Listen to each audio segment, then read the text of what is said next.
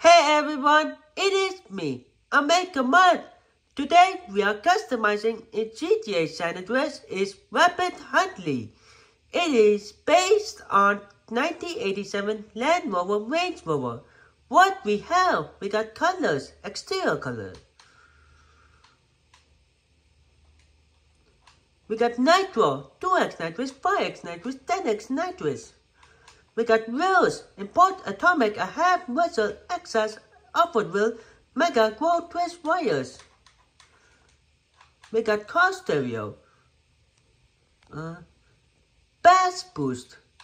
We got hydraulics, hydraulics. Okay, please like, share, comment, and subscribe to my channel. And thanks for watching, and I will see you again in the next video.